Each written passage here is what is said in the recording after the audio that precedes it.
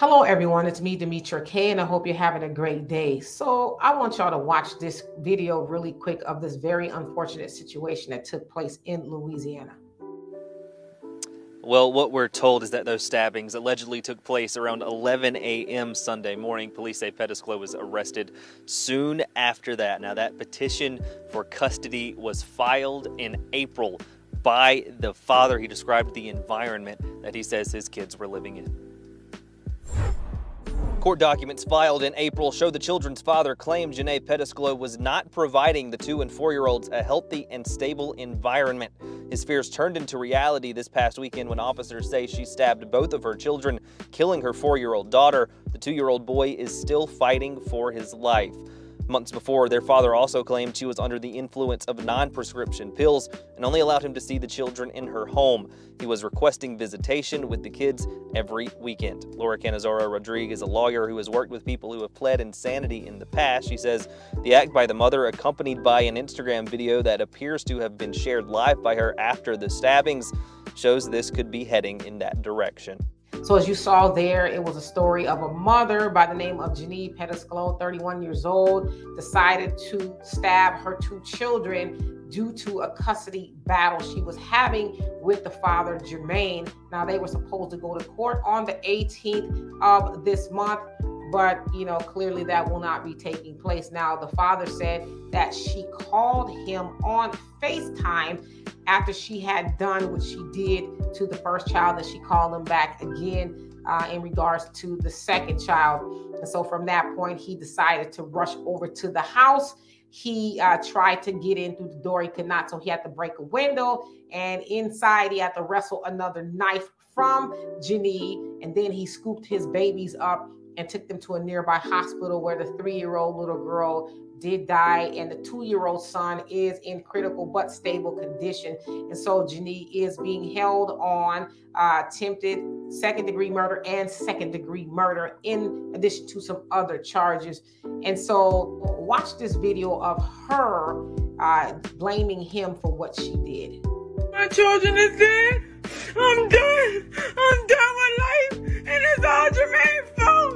It's always Jermaine's fault. I'm done. So as you saw there, she was saying, you know, it's Jermaine's fault. It's always Jermaine's fault. Now he also said that she was unstable and her living environment wasn't that great. Accused her of taking drugs, which is why he was filing for custody of the children. And it sounds like he was only trying to get weekends or something like that but she did not want him to have that. And so I guess she decided that if she couldn't be in control and have the children all to herself, then nobody can. That's kind of what I take from it. Now, the part that's really messing me up is people are trying to paint this as a mental health thing, which it really could be that.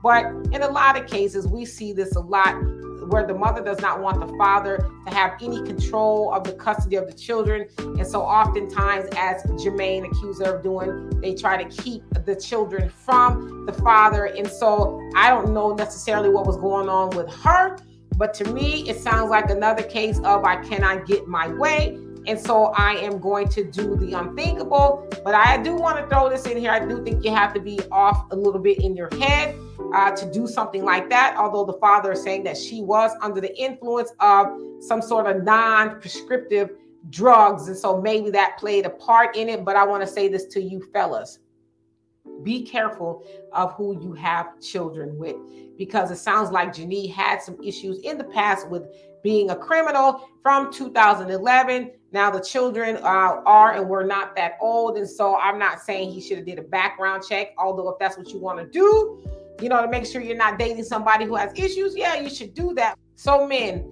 you know, I know y'all have an uphill battle a lot with trying to get custody of your children uh, from women like that. And there's a lot of women out there who just are controlling and do not want you to have absolutely anything to do with your children. A lot of times, women are scorned because maybe you're seeing somebody else, or you just flat out don't want to be with them. And so the children become ransom or a pawn to have you act as a puppet. And so in this situation, they're saying it's mental health. I don't know. I'm not a mental health professional, but I would say in cases that I've seen before, a lot of times it's just a case of control. So, anyway, RIP to that baby and speedy recovery to her brother. And, you know, much love and prayer to the father for having to deal with that and everybody else who's in the family who have to deal with the loss of those two babies.